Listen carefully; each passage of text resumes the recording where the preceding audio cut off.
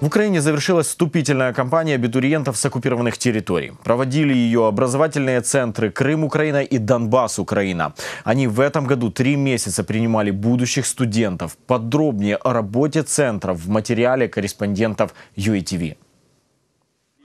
Это Мухаммед Фукала. Он переселенец из Крыма. Учится в Киеве в Таврическом национальном университете.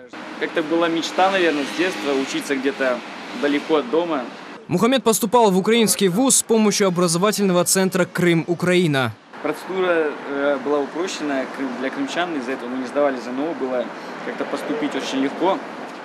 Сдавали три экзамена, украинский язык, история Украины и один был по профилю.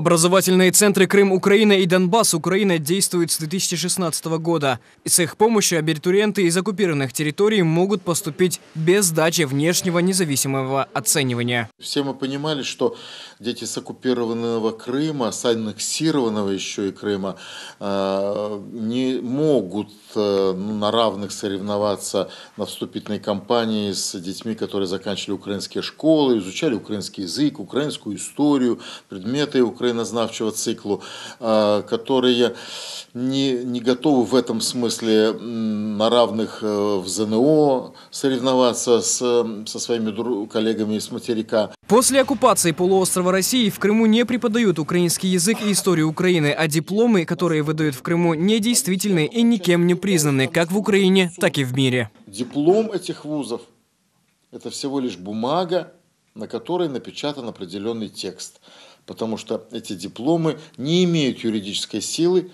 ни в одной стране мира, ну, кроме России, но даже и в России, во многих регионах на них смотрят косо. Чтобы украинцы из оккупированных территорий могли достойно учиться, при поступлении в университет у них даже принимают не паспорт, а свидетельство о рождении, поскольку не все могут вовремя выехать на материк и сделать украинский паспорт. В результате все время увеличивается количество э, студентов из Крыма, переводящихся сюда. Это, кстати, не только в наш вуз, они могут это делать еще в другие вузы по этой программе Крым-Украина. Изначально их было 12, сейчас их почти 40. Таврический университет с помощью образовательных центров Крым, Украина и Донбасс Украина поступила 250 абитуриентов в 2019 году. Всего же за три года действия программы до 10 тысяч жителей оккупированных территорий получили возможность стать студентами. Имран Усейнов, Толеренко Андрей, UATV.